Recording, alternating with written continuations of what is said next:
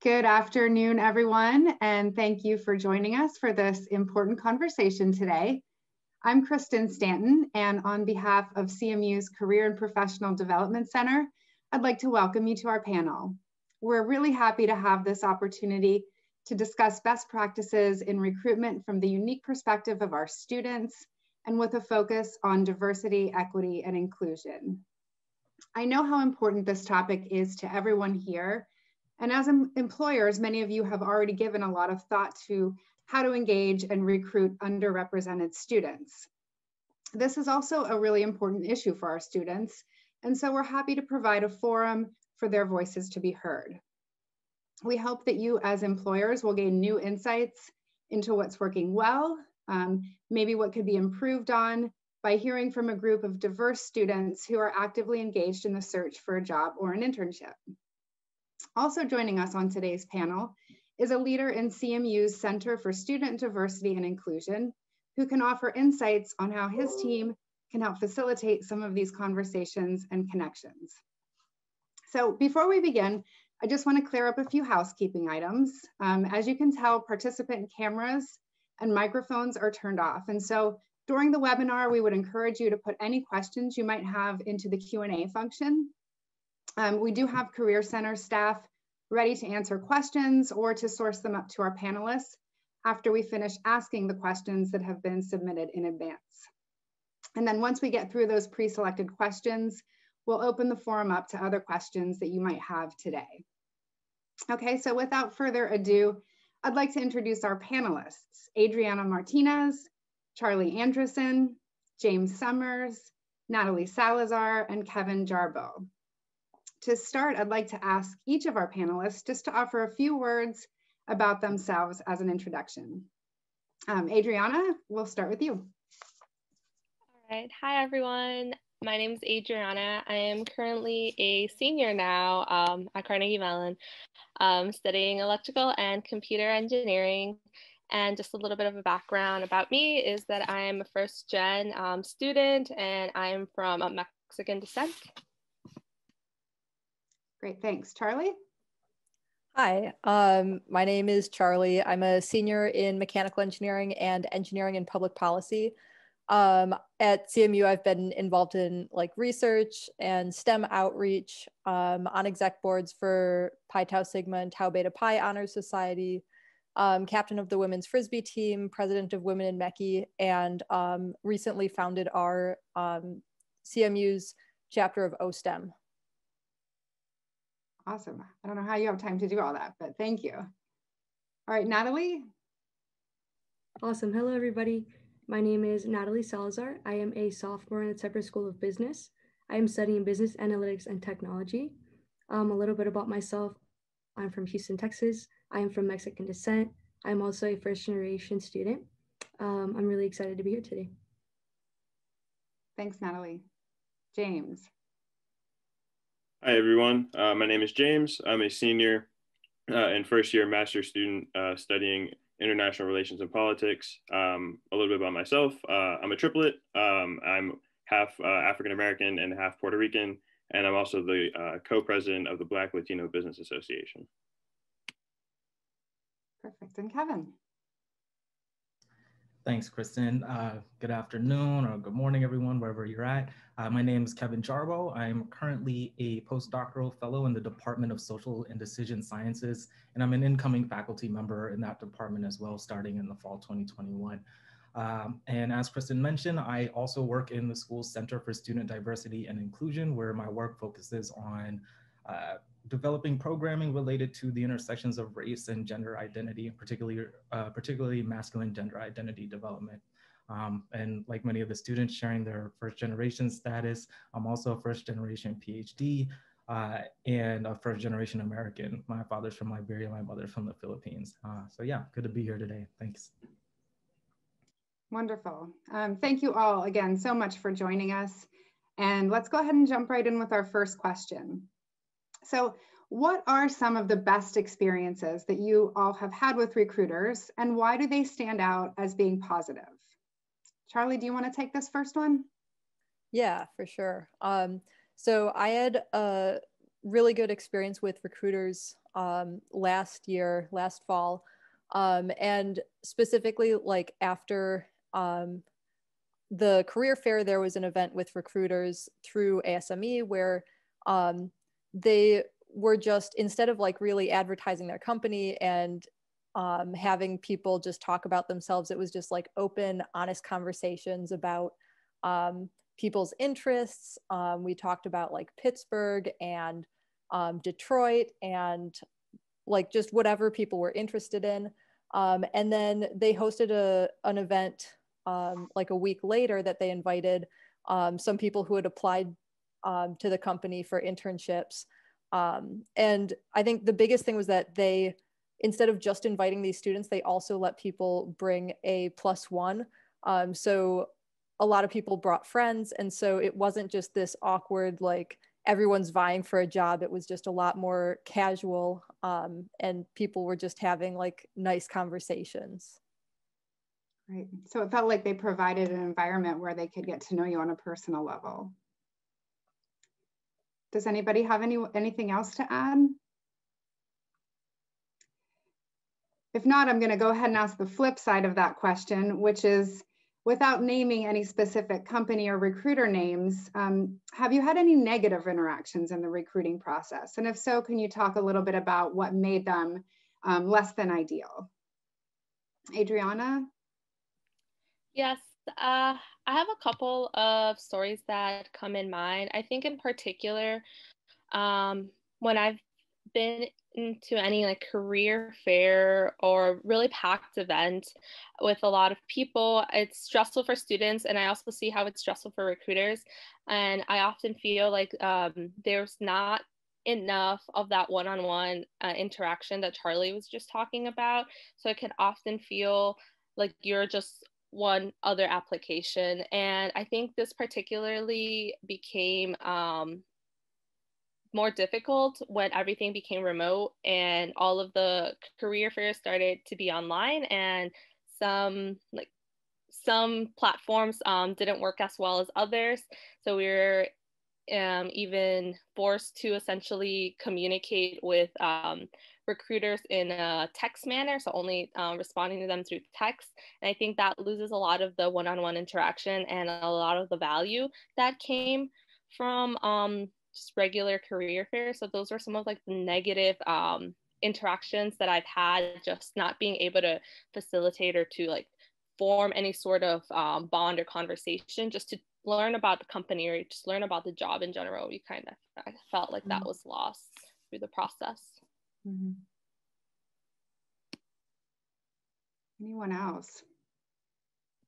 Um, speaking a little bit more towards the, I guess, like the application side of uh, recruiting, um, you know, as an applicant for either internships or for full time positions, um, it can be really frustrating uh, to not hear back from an organization, um, especially when you know you put so much time and effort into doing a cover letter, a resume, maybe you get an interview um, or something, but then you know you get to the end of the road where you know you were unsuccessful, um, and eventually you either find out you were unsuccessful because it's just been X amount of days or weeks and you just don't hear anything. Um, or maybe you just get an email saying, thank you for applying, um, better luck next time. Uh, and that can be, you know, while at least you received a courtesy email, um, you know, it would have, it, it, it will be, it would be nice um, and helpful as an applicant to understand where you could have done better um, throughout the process, whether it have, would it have been in the interview or um, on you know what in your resume maybe didn't stand out as much something that could is like that can be given to you as an indicator as to where you can improve um, mm-hmm. i think for a lot of applicants would be really nice mm-hmm. yeah so it sounds like practices that are maybe a bit dehumanizing or make you feel like more like a number than a person um, are the ones that that really aren't positive um, and I know that's hard to do in, in COVID times, but since the, everything is virtual, maybe it's even more important to make those one-on-one connections with students. Um, what programs and events did you all like um, this year or over the last couple years? And what would you like to see more of that maybe you aren't seeing uh, enough of right now?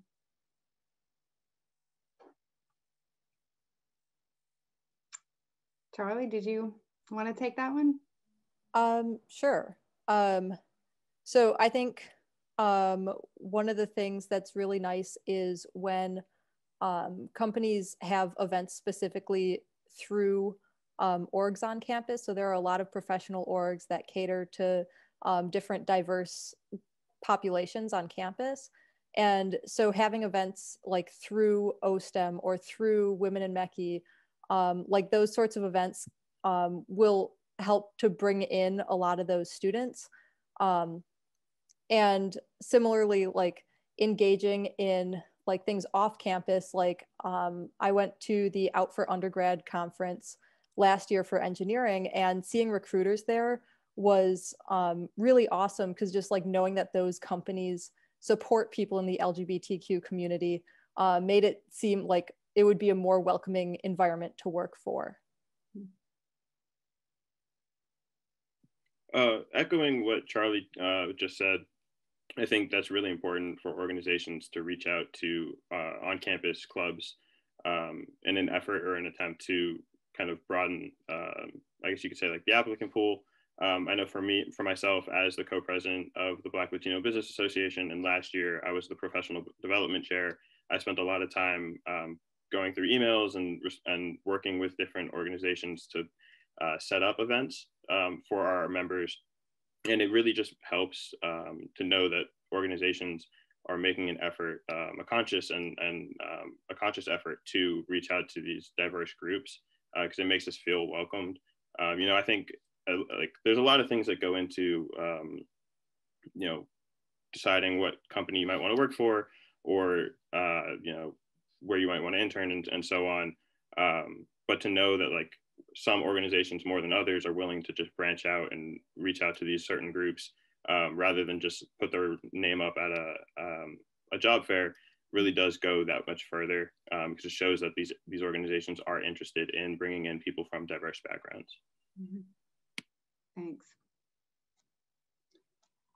All right, and um, moving on to a slightly different topic. Um, the idea of what constitutes professionalism in the workplace has been quickly evolving with the rise in remote work and with it the emergence of things like more casual dress um, you know children and pets in the background um, and just the general sense that it's no longer necessary to conform to an office culture.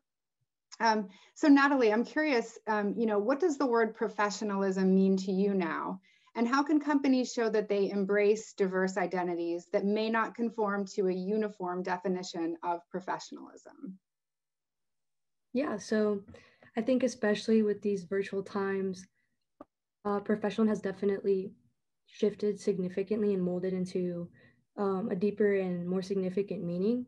Um, I think as I'm applying to internships and as I've been attending more virtual events, professionalism has transcended to essentially authenticity and allowing um, others to see who I truly am on camera with my pets in, in the back, with my family in the back, um, it's a lot easier to show who you truly are. And in a sense, you can't really hide um, the environments where you grow up. And um, so, with that, I think it's really important for um, recruiters and um, even attendees to understand that there is no shame in showing your authentic self.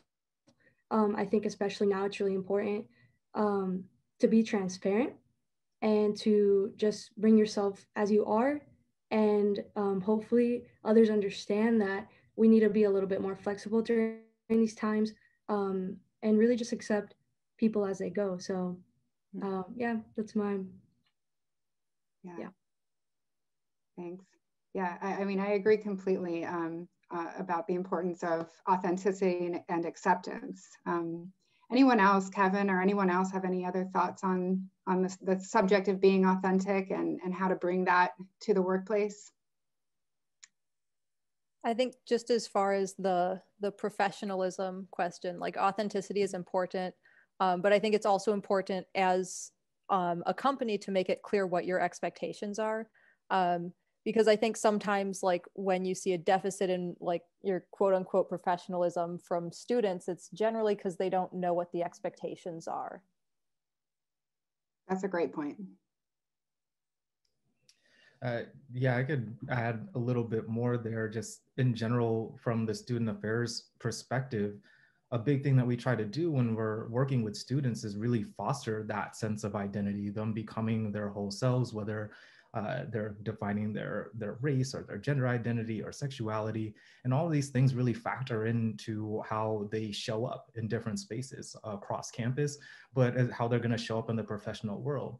And so if you're looking to recruit somebody to come and work for your company or whatever it is, and they're 21, 22 years old, or maybe they're coming out of grad school and they're coming up and coming up on their 30s, just kind of like really figuring out who they are and figuring out how they can show up in certain places, it's going to be really important that they end up in an inclusive environment that actually appreciates the differences that uh, they might be contributing uh, beyond just you know being a, a number, uh, as some folks have expressed that they feel reduced to. But like there's a person behind every single statistic that you acquire, every data point that you acquire, there's a person behind that, and they're trying to bring their whole selves into a space. And I think that companies that, you know, the word here authentic, uh, who are able to authentically show that they care about that sort of representation being in their organization is like really important for people to be able to see, make them feel welcome and, you know, really enhance how how well they fit in and how productive they can be in the place as well uh, because it kind of takes that pressure off of figuring out what the definition of professionalism means in a certain place and allows them to kind of be themselves and just get their work done Thanks, Kevin. That was really well said. And, and this next question is one that we got from a few different employers. Um, but the question is what matters most to you when you're considering an offer of employment? Um, and how would you assess whether the opportunity, the company is the right fit for you? Um, and Adriana, since you are a senior and you just went through this process of evaluating offers and accepting one, um, I'll let you take this question first. Yes, um, so as Kristen just mentioned, I went through the whole recruiting process um, last semester to find a full-time job.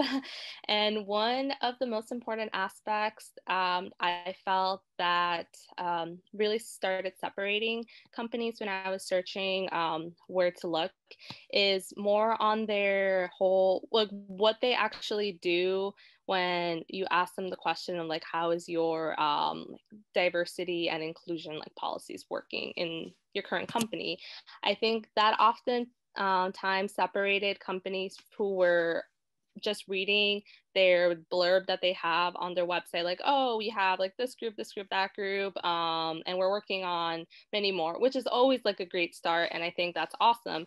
But i think there are always um, other companies who had either recruiters or people in their work in their um, workforce who knew ex- the exact um, policies or change that they were implementing by either donating to um, important causes or just um, really making sure that um, people of color, women are getting promoted to um, higher higher positions because you can put a nice statement on your website but if that doesn't really reflect like your leadership board or your workforce it kind of gave me like the wrong idea. So i think for me that was the number one um, aspect that I was looking at is what are companies doing to actually promote these diversity and inclusive um, policies, and mm-hmm. are they actually going through and fulfilling them?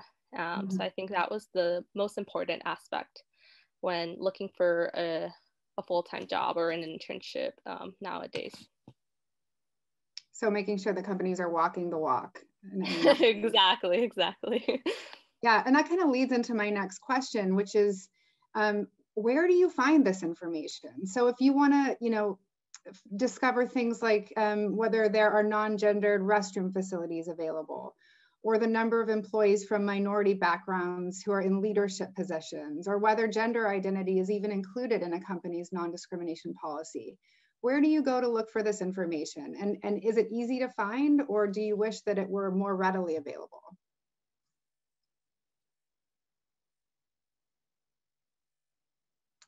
Anyone? Uh, I can jump in uh, here a little bit.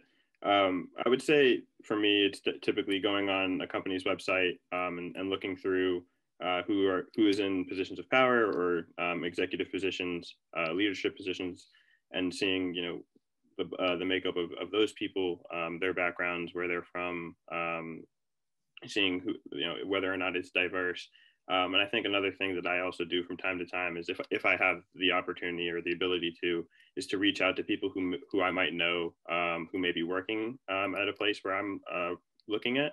So uh, reaching out to them, getting a feel for, um, you know, hearing their perspective of how they um, interpret the workplace. Um, you know, you might find that they might be the only person of color there or the only person of a diverse background, or, you know, maybe a company is actually fulfilling their diversity promises. Um, and, and it is a, a very diverse and um, equitable and uh, inclusive back or uh, organization. And then that can really help to, um, you know, either solidify your interests um, and make you feel really, really good, or in, uh, on the other side of things, maybe not so much about an organization. Great. And what about during the interview process? So how comfortable do you feel asking questions during an interview to assess cultural fit? Um, and is there anything that might make it easier for you to do this? Yeah, I can jump in here. Um, so, like, personally, I've never been uncomfortable um, with asking those questions. Um, but I've found that a lot of time recruiters aren't always super comfortable answering them. Um, so, like I've I've found just by asking those questions that a lot of times um, what you're seeing from recruiters are like the most diverse backgrounds that you'll see like from anyone at the company. Like um, I was talking to a female recruiter one time and asked her like how many women were in the workplace and she was like i'm one of two out of like a hundred um, and so i think like there's there's kind of this idea of like you want to the the companies want to seem diverse so they send recruiters who like have you know more diverse backgrounds. Um, and then a lot of times like I, i've talked to recruiters who just like were kind of like wishy-washy in their answers and then going to the websites like finding out that there isn't much diversity at the company. Um, so i think just like it i haven't had any problem asking the questions but i think recruiters should be comfortable answering those questions. Mm-hmm.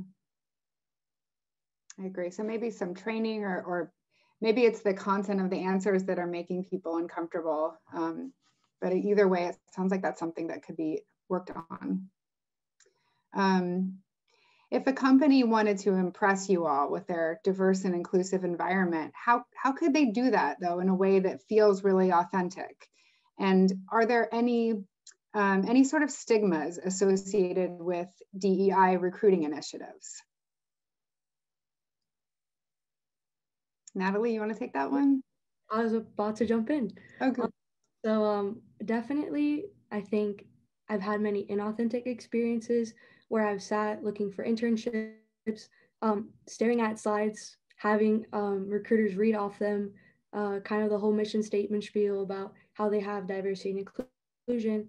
But, you know, following up with Charlie, what she said, um, are they actually, you know, comfortable um, answering those questions and um, do they have the information? I think um, oftentimes conversations are more authentic and when you take those slides away and you actually have those um, conversations and they feel authentic and people are uncomfortable about telling the truth and um, that really at least for me shows that a company cares and that they actually have diversity and inclusion and that they're willing to answer these questions and show up.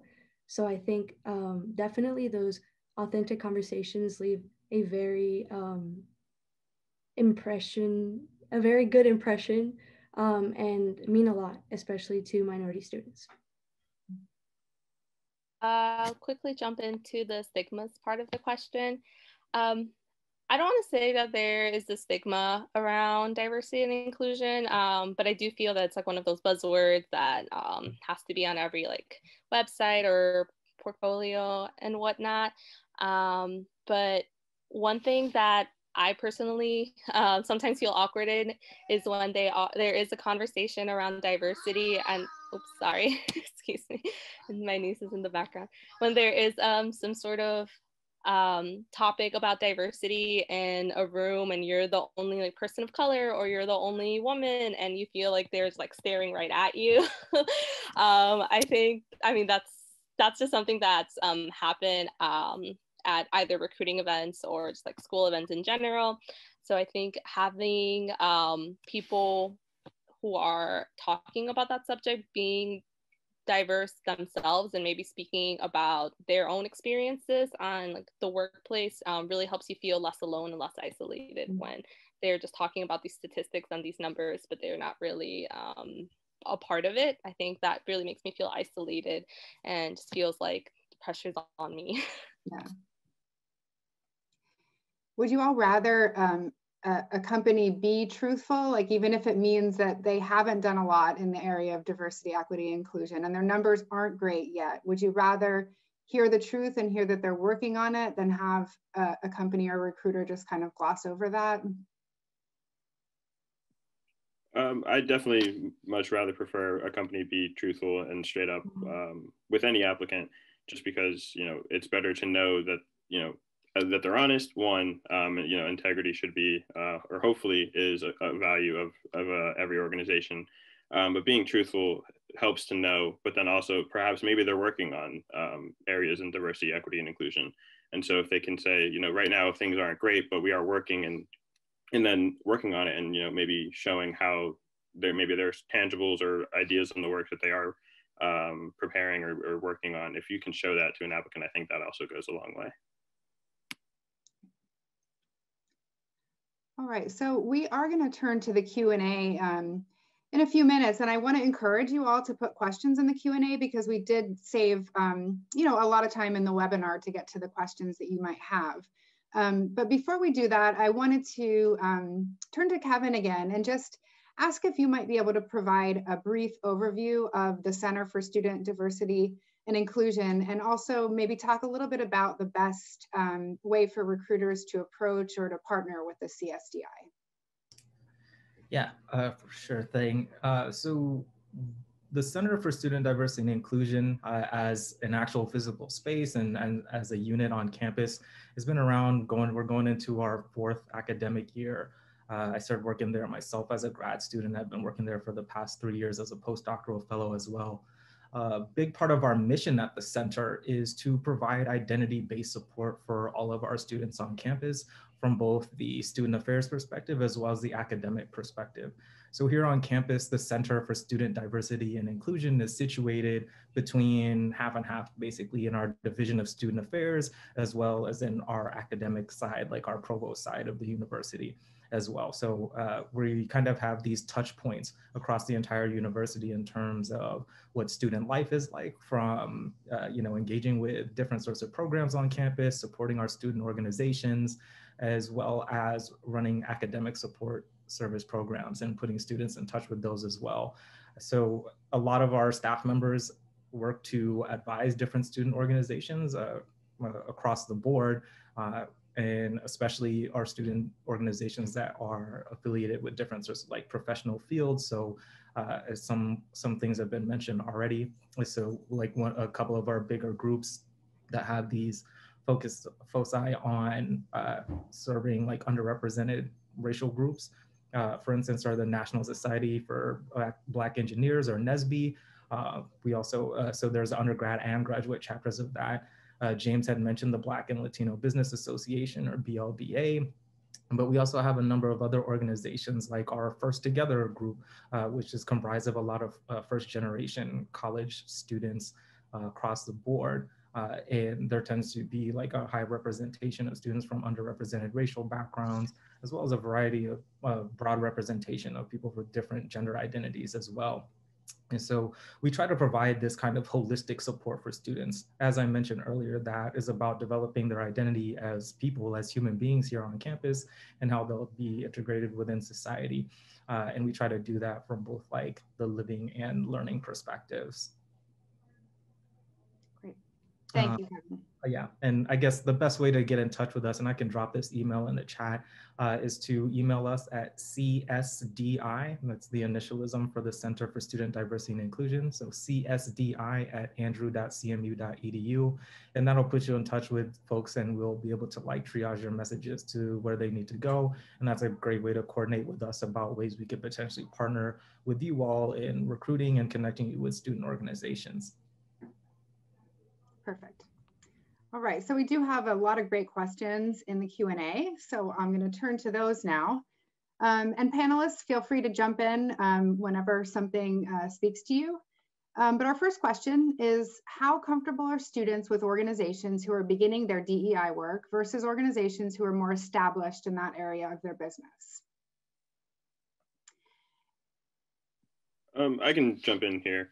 Uh, as uh, a co-president for the Black Latino Business Association, um, I think, you know, for us, we don't necessarily know all the time um, how a, a, company's DEI practices because more often than not, they're just kind of popping up with an email in our inbox. Um, and we're more than happy to then go ahead and, and begin that relationship um, with an organization. I think for us, it's important, like I mentioned earlier, that an organization show interest in uh, people from diverse backgrounds. And simply by just reaching out um, through our email or through uh, CPDC or through the Tepper School of Business and then them relaying to us um, that an organization is interested in, in, partnering with us, I think that goes a long way uh, just to show that they are interested.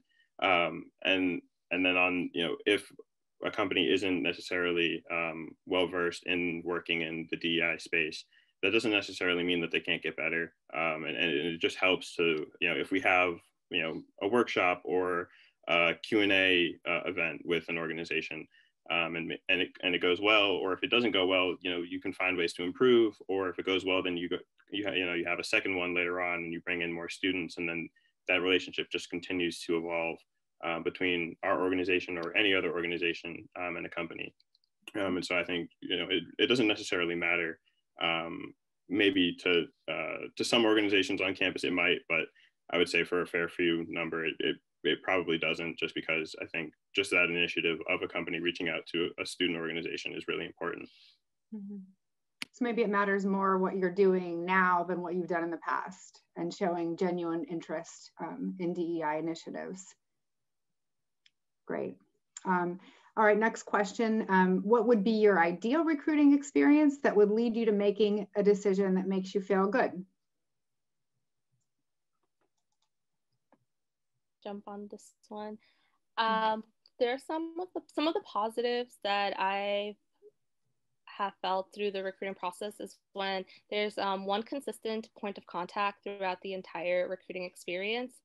Um, there's often times where uh, you get like uh, a whole bunch of different people um, who email you, um, and then you kind of not, you're not too sure like what person or who exactly um, you should be asking your questions to or um, what you'll be expecting as you progress through the um, recruiting process. So when there's like one point of contact, like either that's one recruiter who's been with you from the start um, to the end, I think that's been really positive because you start to get to know them and you feel more comfortable asking them um, those hard questions that you wouldn't often feel um, not as comfortable asking the, somebody that you just met.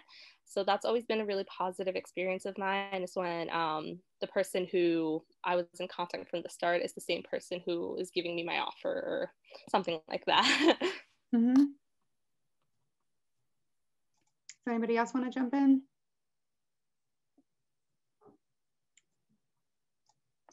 Okay, our next question is about professional growth or development. Um, how important is it to um, hear of professional growth or development opportunities? Um, and what specifically would you be looking for a company to provide you with?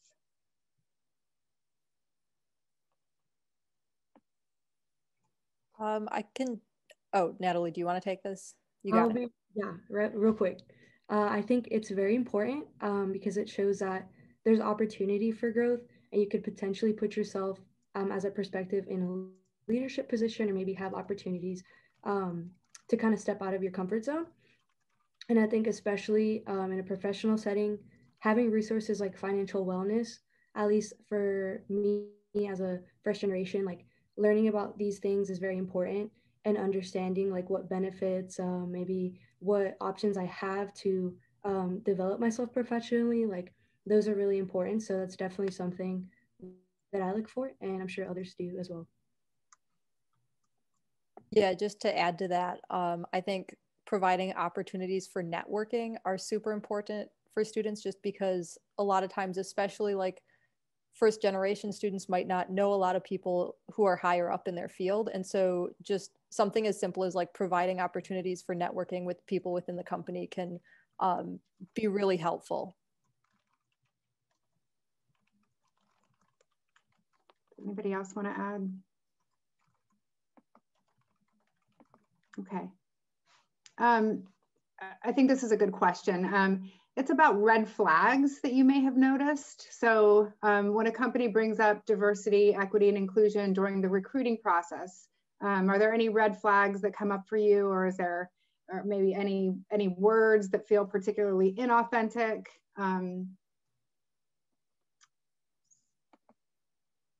anybody have any thoughts on that?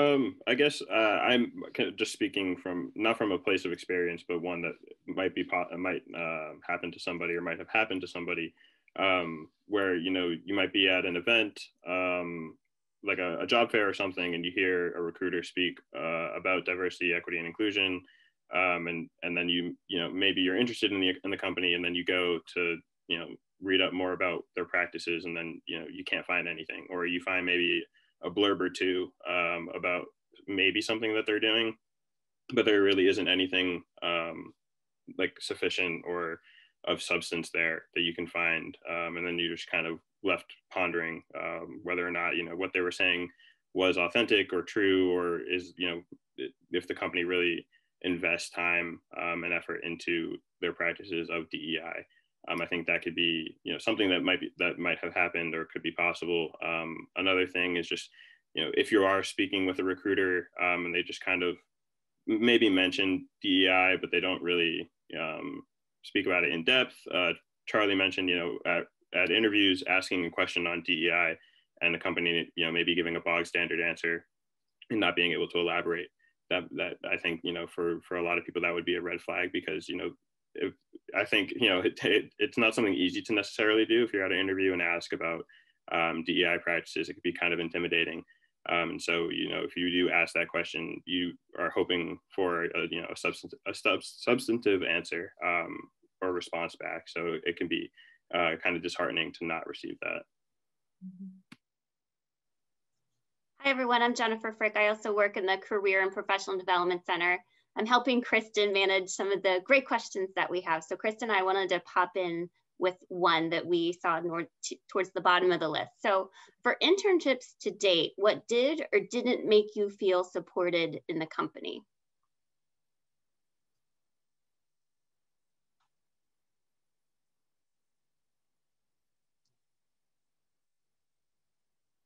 Any volunteers, James?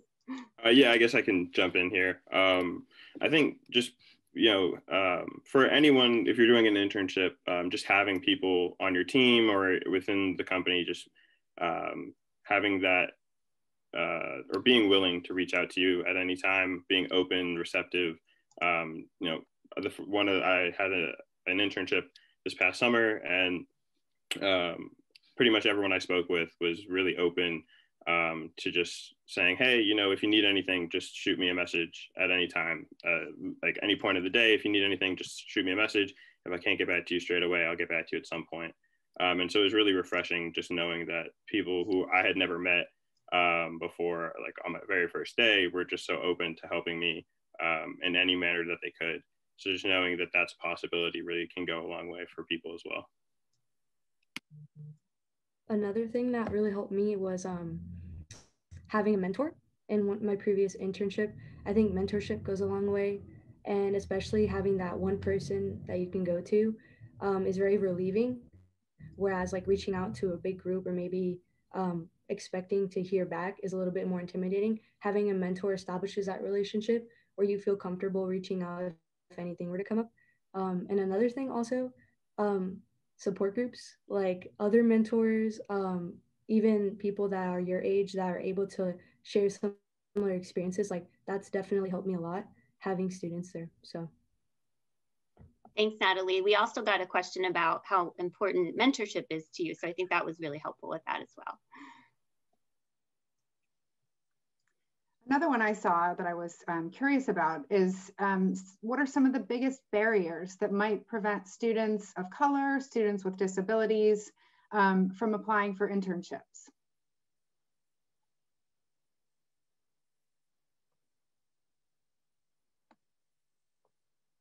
I would say one of the biggest barriers is not being sure if you're the right fit for that role. Like maybe you see a quick posting on Handshake or on LinkedIn uh, about a job opening, um, but then you read through the description or you read or you learn a little bit more about the company, and then you say, "Oh, I don't really think that's for me," or "I don't see myself in that specific area or space." Um, that's probably one of the biggest barriers. So you psych yourself out or get imposter syndrome by thinking that you're probably not going to get it. Um, I think for for me specifically, I often stopped myself from applying because I didn't believe in myself, or I thought, oh, their requirements are too excessive. I'm not um, capable of handling this role. Um, but then later finding out that uh, all of those requirements weren't uh, weren't exactly necessary. They were just kind of there to talk more about the role. Um, but being a woman and me being a person of color, I, in my mind, I was like, oh, I need to feel and I need to be good at everything in order to apply, or else mm-hmm. I'm going to fail. So I think a lot of that um, is, or six, what prevented me from either applying or putting myself more out there when it came to searching for for jobs. Mm-hmm. Aside from qualifications, is there anything else that you felt kind of um, made you hesitate before applying or, or made you feel like you wouldn't be able to complete an internship or get an internship? Yeah, I can speak a little bit about this. So I think uh, as a sophomore, definitely um, one of the barriers I've encountered frequently has been um, experience and, and just having confidence in being the first to do it. Oftentimes, like my um, colleagues, peers have parents or mentors that have been through similar experiences and they have advice to give. And kind of, I've felt like I've had to figure things out by trial and error. So, showing up to recruiting events and um, not having a correct resume or maybe um, just doing things that may not be considered professional, but then learning from those experiences. And I think definitely that's been a barrier, uh, but it's definitely made me understand the importance of putting yourself out there and showing up. So I think, um, yeah. Mm-hmm. Um, I just want to add something here too to build off of what uh, Adriana and Natalie said, especially taking this from a more like systemic equity sort of perspective right? So the question being about students of color or students with disabilities, right? Those people are going to have some unique needs that because of the way that things tend to work out in our society as it is. Some you know students of color for instance might be disproportionately affected by being from a lower income background for instance. So uh, if your internship doesn't pay very well or if it's a unpaid internship then you're not going to get students applying for that. And that ends up being one of these things where like only students from higher income backgrounds are able to afford to do uh, for students with disabilities if your organization doesn't have support for people with either physical or cognitive disabilities or neurodivergence then uh, you know why would that student look to be in that particular place not knowing whether or not they would get that support? So, you know, while you have on this one side, students are kind of like not necessarily feeling confident or like they might belong or they might fit or they might not do well in a particular position because of their own skills. But there's also like these other aspects of their background that there's some major social factors that influence how successful they can be in certain places. And it's not necessarily that certain people need more resources but they need the right resources for them to be able to thrive in a specific place and make them feel like they have a chance at it. So if those are things that you can build in then that would probably increase the likelihood that students from different backgrounds backgrounds will apply to those positions. Yeah, thank you for that, Kevin. I think that's a really important point. And it's often something that's really hard for students to ask for. Um, so I think it's important that employers take the initiative in thinking about some of those barriers. Um, uh, this is a, a, a, slightly, I think, easier question.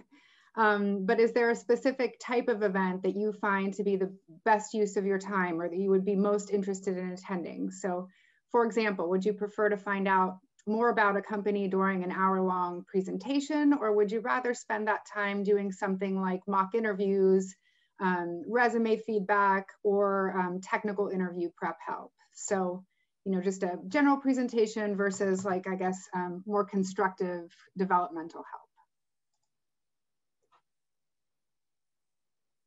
And we may have different opinions on this one, but yeah, I went to an event, I believe it was during the summer, so it was virtual. Um, and so the jobs I'm applying to are more on the technical aspect on things. So this event for this company was a um, technical interview prep sort of thing, um, but we were put into groups. So you had groups of like five, um, five students, all from different um, colleges and universities, and one engineer. And we essentially went through um, what the first round interview uh, would be like, and we even um, were posed one of the technical questions, but we solved it as a group. Um, so there was no um, there was no pressure on being like the smartest person or saying um, the stupid thing um, because we were all trying to solve the question as a group. And I thought that um, said a lot about the company. And we got to learn a lot about the one engineer who we were put in into. And then after that, we broke up into like the bigger group and we just discussed our question and we were able to not only learn about the company but also get some technical interview prep in which was really nice and I and I appreciate it. So I thought that was pretty unique and I don't think I've um, been invited or seen other companies do something similar so I thought that was pretty cool. Okay anybody else? Okay we have a good question um, from someone who works at a smaller company, and that is how can a small company, a startup or a small nonprofit compete if they don't have a recruiter on staff or if they don't have a lot of resources um, to devote to DEI just yet?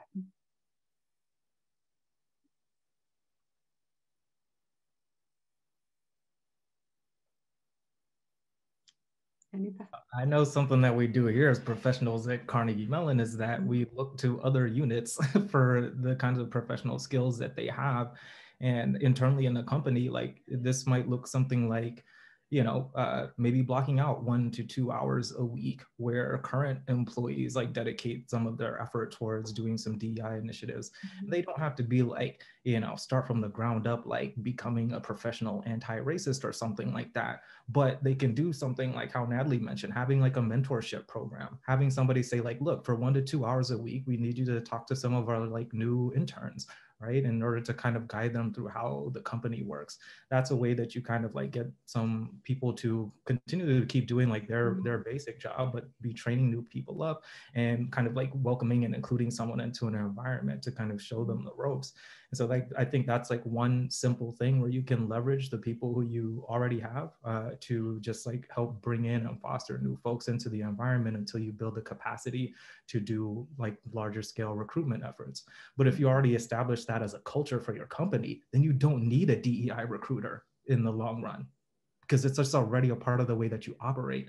So if you think about the ways that you can basically answer the question of how is our company setting ourselves up to make sure that anyone who applies here can thrive here, then you won't necessarily need a D and I professional to come in and do that sort of work on your behalf because it'll just be the way that you do things.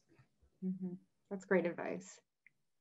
And as someone who worked for a very small company before, I can tell you that I think it all goes back to that authentic connection that we were talking about at the beginning. And you can have anyone um, reach out and have authentic connections with students. And sometimes if that person reaching out happens to be the CEO or the head of engineering, um, it's, you know, it makes the student feel even better to know that they are, you know, worth that person's time. So I think even for small companies, just focusing on that connection and that authenticity.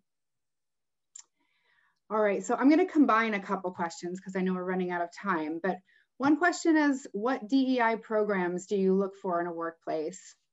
And another question is when a company prevent, presents you with an offer to join them, either for an internship or a full-time job, what company highlights or details are important for the hiring manager to talk about when making the offer? So aside from hearing about salary and benefits, what other things do you want to hear about? And maybe that is what DEI programs um, happen to be in the workplace.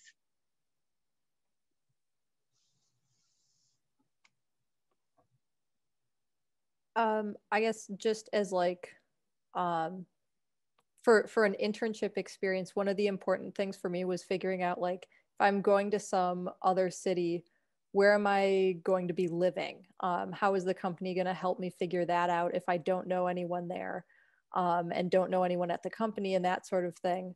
Um, and so like the companies I was applying to, like they always like said like here's our housing policy or we'll help you find some place like close by.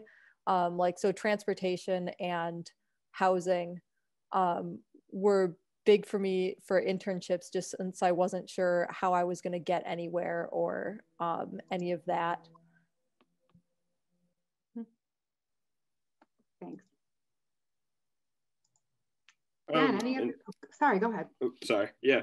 Um, in terms of like any potential DEI programs, uh, I know we've talked a bit about you know mentor programs. Um, you know you can find a way to do uh, DEI mentor programs um, either within you know specific teams and then kind of do a rotational program within teams, um, or expand it to the entire business and see you know just kind of match up um, a mentee with a mentor from a different part of the business and just that also knocks out uh, kind of your networking um, aspect of of, uh, of work as well.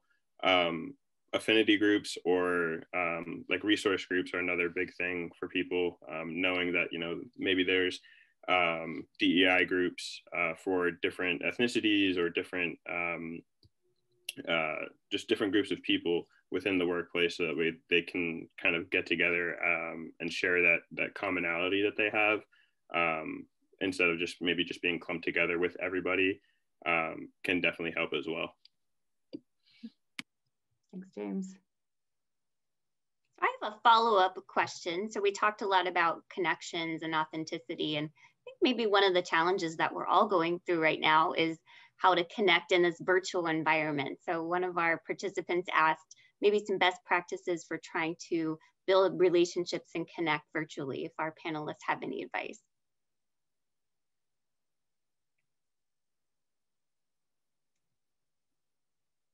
I'd say that um, one-on-one conversations mean a lot more than being bunched into a group where sometimes your voice isn't heard.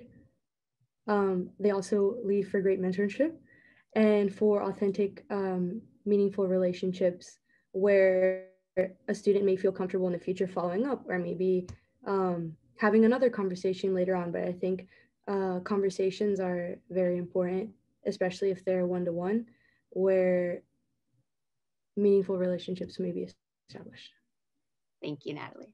Um, and just to add on to that, I think um, you know phone calls are great um, and all, but I think in this day and age with the technology that we do have, um, doing something like this, but in a one-on-one environment, doing a Zoom call or a Microsoft Teams or what whatever, um, doing that I think is really great um, because it breaks down that barrier of not being able to see someone's face.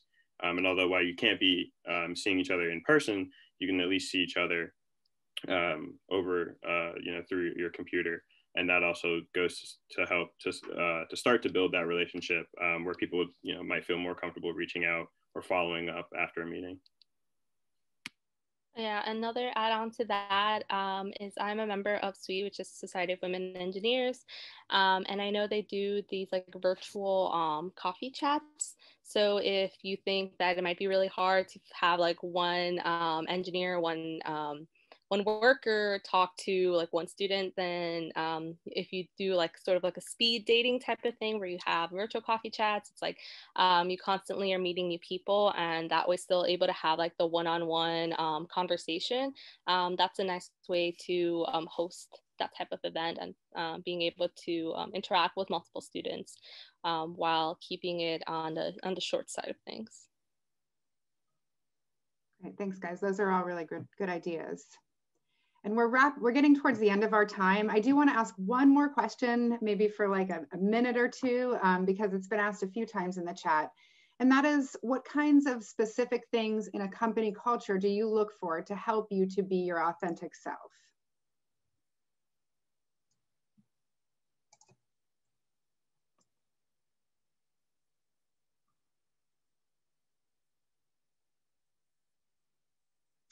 No, it's a, it's a hard, it is a hard question.